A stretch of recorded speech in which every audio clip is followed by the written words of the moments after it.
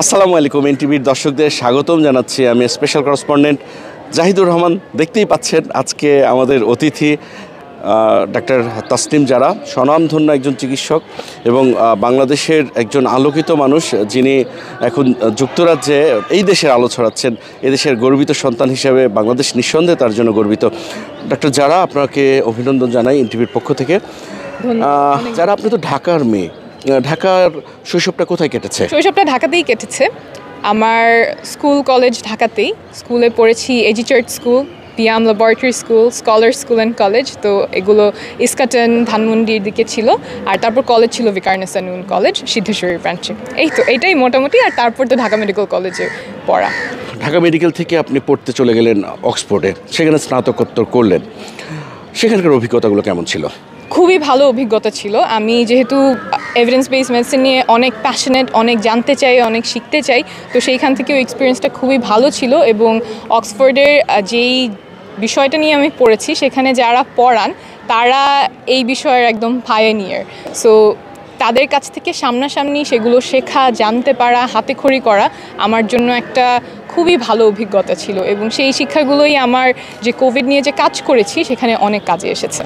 কোভিডের কথা বলছিলেন, আপনাকে তো যুক্তরাজ্য সরকার সম্মানিত করেছে হলো ভ্যাকসিন লোমিনিন হিসেবে। সেটা যদি আপনি একটু বাংলাদেশের দর্শকদেরকে বুঝিয়ে বলেন যে কোন স্বীকৃতির জন্য আপনাকে এই মর্যাদা তারা দিয়েছে। কোভিড ভ্যাকসিন নিয়ে জনমানুষের কাছে বোঝানো, বিজ্ঞানটা বোঝানো কোভিড ভ্যাকসিনের নিরাপত্তা কেমন, কার্যকারিতা কেমন, সেগুলো নিয়ে বক্তব্যগুলো যে তুলে ধরা, সেই জন্য যুক্তরাজ্যের সরকার জি সেভেন ভ্যাকসিন কনফিডেন্স সামিটে আমাকে ভ্যাকসিন লুমিনারি পদকটা দিয়েছে। সো এটা হচ্ছে যে ভ্যাকসিন নিয়ে কাজ করার জন্য, যেটা আমার বাংলাদেশের মানুষের জন্য এবং বাংলা ভাষাভাষী মানুষের জন্য যে কাজটা করেছি, সেই কাজের জন্য। তারপরে আপনি খ্যাতনামা প্রতিষ্ঠান যুক্তরাজ্যের আরেকটা প্রতিষ্ঠান সেখানে আপনি শিক্ষক হিসেবে যোগ দিলেন। সেই অভিজ্ঞতাটা আমরা শুনতে চাই। আচ্ছা আমি কেমব্রিজ বিশ্ববিদ্যালয়ের ফাইনাল ইয়ারের যে স্টুডেন্ট থাকে ফোর্থ ফিফথ সিক্সথ ইয়ার তাদের মেডিকেল স্টাডিজ সরি আমি আরেকবার শুরু করি। আমি কেমব্রিজ বিশ্ববিদ্যালয়ের মেডিকেল স্কুল অর্থাৎ যারা সেখানে ডাক্তারি পড়তে আসে, চতুর্থ, পঞ্চম, ষষ্ঠ বছর বছরের যে শিক্ষার্থী, তাদেরকে পড়াই, তাদের ক্লিনিক্যাল সুপারভাইজার হিসেবে আছি। অভিজ্ঞতাটা খুবই ভালো, আমার শেখাতে, পড়াতে খুব ভালো লাগে। তো ওদের যেহেতু ওরা ডাক্তার হবে কিছুদিন পরে, তাদেরকে বোঝানো যে কীভাবে একটা রোগীর সাথে কথা বলতে হবে, রোগী আসলে তাকে কীভাবে একটু পরীক্ষা করবে, রোগীদের কাছে নিয়ে যাওয়া, তাদের সাথে কথা বলা, তাদেরকে দেখানো যে ডাক্তারিটা কীভাবে করতে হয় that's very nice experience and a very fulfilling experience. And uh, yeah, I enjoyed it quite a bit. এখানে একজন বাংলাদেশি হিসাবে যখন বিশ্বের খ্যাতনামা হবু ডাক্তারদের মুখোমুখি আপনি হন সেখানে বাংলাদেশের কথা কি তারা জানতে চায় আপনার মাধ্যমে বাংলাদেশ তারা জানে আমি বাংলাদেশি এবং আমার কাজ সম্পর্কে তারা জানে। তো ওরা অনেক ইন্টারেস্টেড হয়, অনেক জানতে চায় যে কাজটা কি, কিন্তু যেহেতু আমি বাংলায় করি, সেটা ওরা খুব একটা বুঝতে পারে না but they try to see যে কিছু কিছু জায়গায় ট্রান্সলেশন দেখা যায়। তারপরে আমি বিবিসিতে আইটিভি স্কাই নিউজে যখন ইংরেজিতে ইন্টারভিউ দেই, তখন ওরা ওগুলো খুঁজে খুঁজে বের করে দেখে এবং বুঝতে পারে যে আমি কী করছি। So they have a lot of interest lot of curiosity and yeah it's it's quite quite interesting quite exciting এই যে কন্টেন্ট নিয়ে বাংলা ভাষাভাষী মানুষের কাছে আপনি খুব দ্রুত পৌঁছে গেলেন, তার আগে তো নিজের মেধার গুণে পৌঁছে গেছেন শীর্ষ শিক্ষা প্রতিষ্ঠানে। তো এইটা কবে থেকে আপনার মনে হলো যে না, এরকম কিছু একটা করা দরকার? আমি যখন মেডিকেল স্কুলে পড়ছি, ঢাকা মেডিকেল কলেজে পড়ছি, তখনই আমার এভিডেন্স বেস মেডিসিন নিয়ে আগ্রহ জাগে। আগ্রহ জাগে এই কারণে, কারণ আমি মেডিকেল কলেজে ঢাকা মেডিকেলে যেটা দেখেছি যে অনেক মানুষ এমন চিকিৎসার পেছনে খরচ করছে, সময় ব্যয় করছে অর্থ নষ্ট করছে এবং পরিশ্রম দিচ্ছে, যেগুলো আসলে তাদের কাজে আসবে না, যেগুলো বিজ্ঞানে প্রমাণিত না।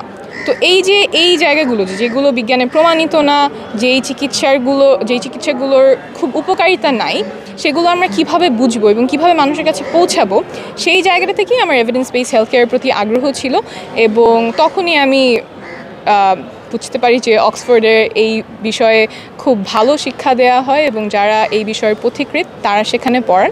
তখনই তখনই এই বিষয় নিয়ে পড়ার ইচ্ছা জাগে এবং অ্যাপ্লাই করি and finally I got in and I I could complete complete the course আর এই যে ভিডিও কন্টেন্টের বিষয় জানতে চাচ্ছি যে সেইটার ইচ্ছেটা কবে থেকে শুরু হলো? ভিডিও কন্টেন্ট আমার মূল যাত্রাটা শুরু হয় কোভিডের সময়ে। তো আমি তখন এমার্জেন্সি মেডিসিন ডিপার্টমেন্টে কাজ করছিলাম, ডাক্তার হিসেবে। যখন করোনা মহামারী শুরু হলো, তখন আমি খুব সামনাসামনি দেখতে পাচ্ছিলাম যে কোভিড কতটা ভয়াবহ হতে পারে একটা রোগীর জন্য, তাদের পরিবারের জন্য। কিন্তু সোশ্যাল মিডিয়াতে আবার দেখছি যে অনেকে বলছে যে কোভিড আসলে খুব শক্ত কোনো অসুখ না, ছোটোখাটো বিষয়, অথবা বিভিন্ন টোটকা বলা হচ্ছে যে কোভিড সারিয়ে দিবে একদম তিন দিনের মধ্যে। তো সেগুলো দেখে আমার মধ্যে একটা ক্ষোভ বলতে পারেন দুশ্চিন্তা বলতে পারেন, সেগুলো কাজ করছিল এবং সেই জায়গা থেকেই মনে হলো যে ছোট্ট কিছু ভিডিও করে একদম সঠিক তথ্যটা হয়তো আমি মানুষের কাছে দিতে পারি। তখন আমার মূল ইচ্ছা ছিল আমার পরিবার পরিজনের কাছেই হয়তো যাবে, তাদের কাছে হয়তো সেটা পৌঁছে যাবে, তারা হয়তো সেগুলো দেখবে। কিন্তু তারপর যেটা এত মানুষের কাছে যাবে এবং এত মানুষ এটা পছন্দ করবে সেটা নিয়ে আমাকে শুভেচ্ছা জানাবে শুভাকাঙ্ক্ষী হবে এটা আমি আসলে আগে কল্পনাও করতে পারিনি। বাংলাদেশ নিয়ে আপনার কোনো স্বপ্ন? বাংলাদেশ নিয়ে তো অনেক স্বপ্ন আছে।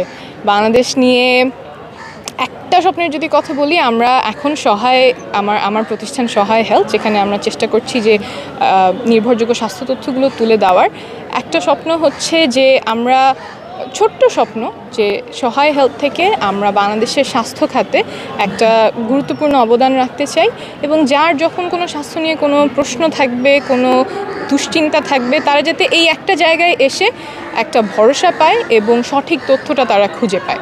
আপাতত এটা নিয়েই কাজ দেশে কি ফিরে কিছু করার ইচ্ছা আছে না ওখানেই শিক্ষকতা করবেন? আমি ওইখানে এখন ডাক্তার হিসেবে আছি পাশাপাশি শিক্ষকতা করছি। দেশে তো ফেরার ইচ্ছা আছেই এবং দেশের মানুষের জন্য এখনও কাজ করছি এবং করে যেতে চাই। বাংলাদেশের স্বাস্থ্য ব্যবস্থা সম্পর্কে কম বেশি ওয়াকিবহাল। আমাদের দেশের সামর্থ্যবানরা দেশের বাইরে চলে যান। ভরসা পান না। আপনার কি মনে হয়? কি কারণে এমনটা হচ্ছে? আমার মনে হয় যত দিন যাচ্ছে এটা কিন্তু মানুষ আরও অনেক ভরসা পাচ্ছে। আমাদের দেশের হাসপাতালগুলোতে আমাদের দেশের চিকিৎসকগণের উপরে অনেক ভালো ভালো কাজ হচ্ছে অনেক নতুন নতুন প্রসিজার বা সার্জারি যেগুলো আগে দেশে হতো না, সেগুলো কিন্তু এখন নতুন করে শুরু হচ্ছে।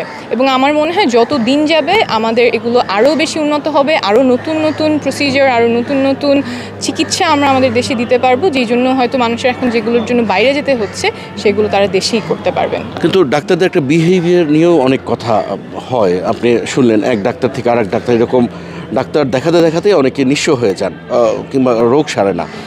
আপনার কি মনে হয় যে কোন দুর্বলতাগুলোতে পয়েন্ট আউট করলে অন্তত আমাদের চিকিৎসা ব্যবস্থাটা আরও খানিকটা উন্নত হতে পারে?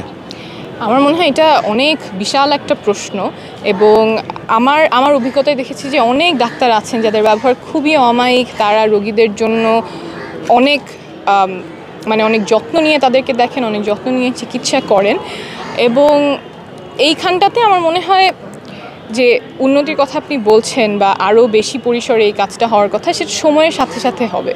এবং আমাদের পুরো স্বাস্থ্য ব্যবস্থাটা যে অবস্থায় আছে, সেটাও আস্তে আস্তে যত উন্নত হবে, আমাদের হাসপাতালে আরও ইকুইপমেন্টস থাকবে, আমাদের হাসপাতালে আরও স্টাফ থাকবে, হাসপাতালের বাইরে আমাদের প্যারামেডিক্স অ্যাম্বুলেন্স সার্ভিস সেগুলো যত উন্নত হবে, মানুষের হেলথ কেয়ার এক্সপিরিয়েন্স তত আরও ভালো হবে।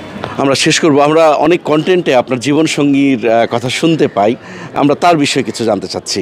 আমার হাজব্যান্ড খালেদ সাইফুল্লাহ সে আমাকে অনেক এনকারেজমেন্ট দেয় অনেক উৎসাহ দেয় অনেক সাহায্য করে এই কাজগুলোতে। তো আর কি বলব? এনটিভির দর্শকদের জন্য কি বলবেন? এনটিভির দর্শকদের জন্য বলতে চাই যে নিজের স্বাস্থ্যের প্রতি খেয়াল রাখবেন। একটু সময় দিবেন নিজের স্বাস্থ্যের জন্য। এটাই হয়তো আমরা সব শেষে রাখি, তালিকার অন্য কাজে ব্যস্ত থাকি।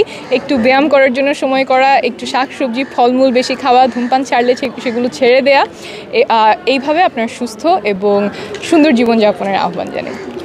দর্শক, এতক্ষণ শুনলেন খুব নাম করা চিকিৎসক ডাক্তার তাসলিম জারার কথা। নিশ্চয়ই আগামীতে নতুন কোনো অতিথি নিয়ে হাজির হব আপনাদের সামনে। ততক্ষণ পর্যন্ত সবাই ভালো থাকবেন, সুস্থ থাকবেন এবং এনটিভির সঙ্গে থাকবেন। আল্লাহ হাফেজ।